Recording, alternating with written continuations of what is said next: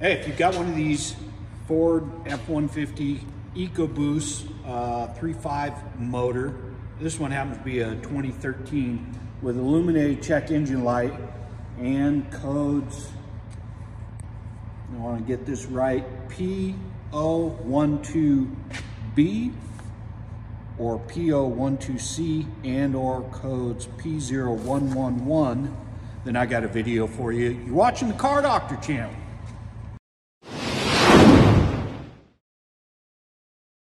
Hey, thanks for tuning in. I'm Tim. I'm here at my repair shop, Donor Automotive in Anchorage, Alaska, and I got this 2013 F-150. This uh, tip's gonna apply to uh, a broader year model range of EcoBoost 3.5 motors, experiencing a check engine light.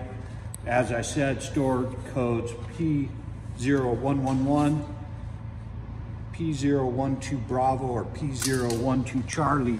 Turbocharger intake air temperature slash pressure sensor. Uh, there is a TSB regarding this. Um, you want to look at Ford TSB 14-0082. Um, it talks a lot about this. Um, basically, the way it's laid out in the TSB is if you uh, are getting this code and it's and it's actually a an active code, then it basically says to uh, replace the sensor and the wiring connector running to it. Um, I don't ever do just the sensor on these. I always do it in conjunction with the connector. There's lots of problems with the connector, but there could be problems with the wiring harness itself, but uh, um, I have never run into that. But I do have a quick test to verify that your wiring is okay. Uh, anyway, here's the store codes that I pulled up on the scanner. Um, they're active.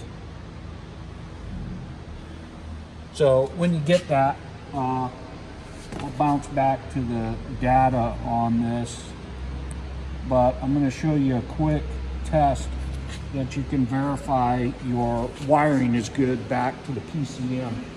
Come out here to the sensor, which basically, uh, I'm going to call it a mass airflow sensor, but if you call it a mass airflow sensor, you might get in trouble. They might yell at you. It's actually a turbocharger intake air temperature slash pressure sensor.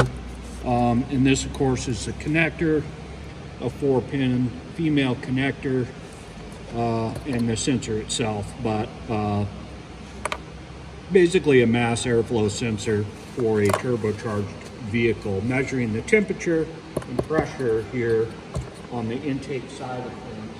And uh, if you want to test your wiring back to the PCM, you can do so by jumpering a couple of the terminals and monitoring your intake air temperature uh, at the same time. So I was talking about uh, verifying that your wiring is good back to PCM. What you want to do to detect that is pull your connector off of the intake air pressure sensor.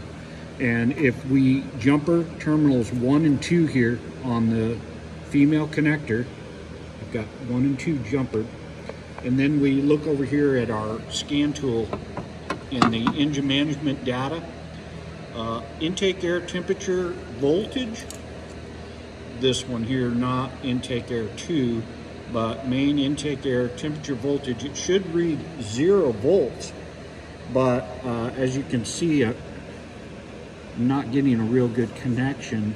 There we go, it's, it's fluctuating, so somewhere in this connector, it's actually uh, jacked up. They've got a lot of this white dielectric crap on it, so I don't know if that has something to do with it. But if I fiddle with it enough, I can get it to zero. And then uh, look back here, uh, if you jumper terminals, a lot of that white stuff. Terminals two and three, you should have five volts, which I've got here.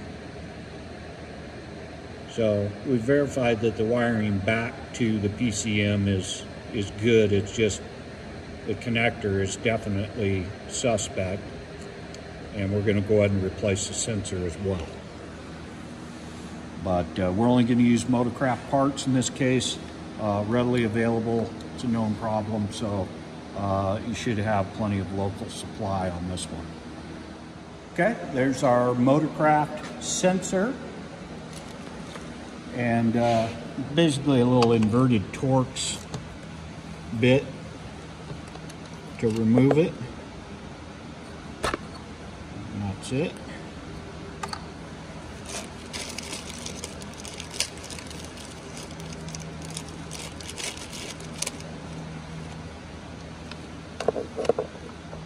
Got a little O-ring on there, so make sure that is installed correctly.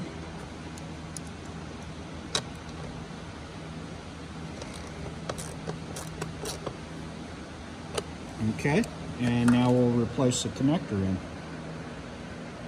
All right, got it. Okay, here's your uh, connector kit. Comes with everything you need.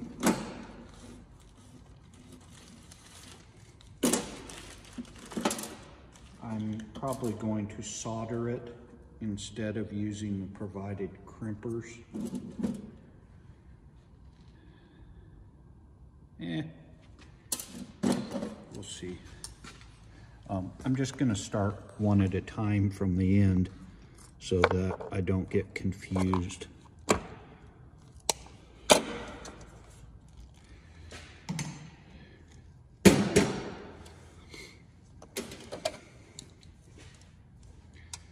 But we'll just hack these off.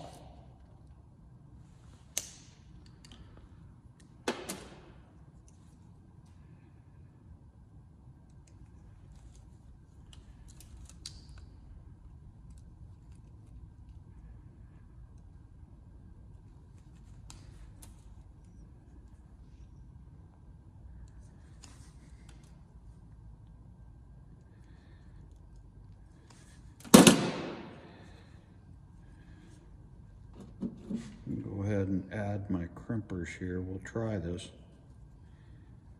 I don't really like these.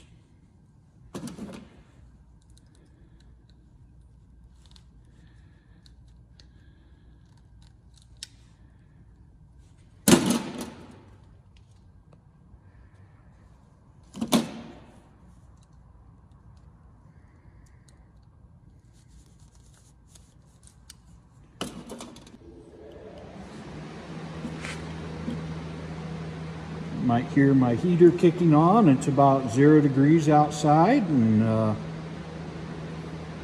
a week before Thanksgiving and my gas bill is shooting through the ceiling.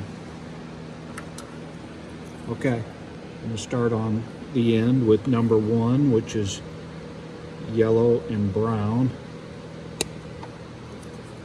No turning back now.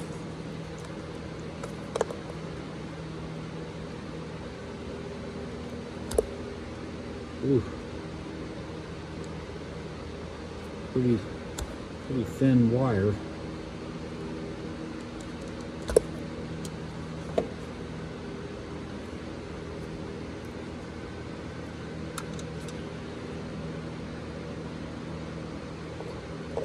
Number one.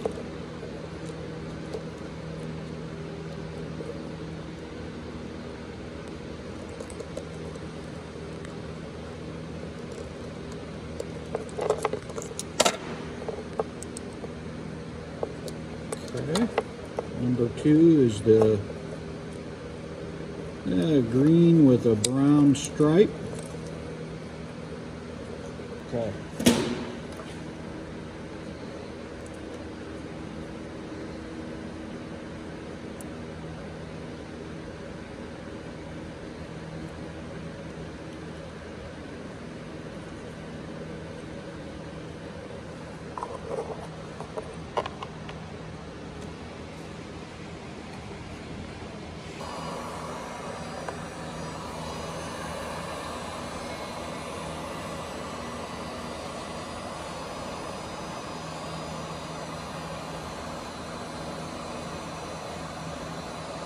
Wondering about this light I got, this is a new snap-on light. Um, don't really think it's all the greatest. I've already cracked the base. It, it works good until you run into it and knock it off of something and it breaks. Then it doesn't work as good. I like those little puck lights. All right, got those screwed and melted.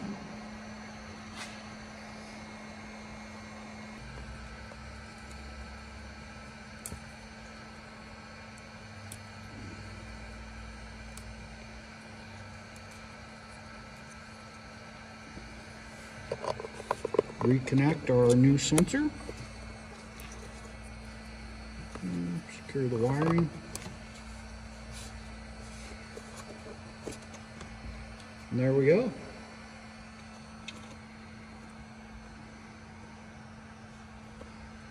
Not the prettiest thing, but that'll work.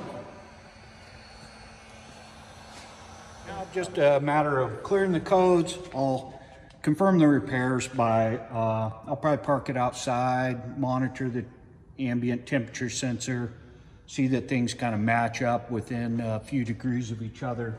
But uh, I have no doubt we've uh, corrected the issue. Uh, pretty common deal, and I hope this video was helpful. Appreciate you watching, subscribing, and I will catch you next time on the Car Doctor channel. Take care.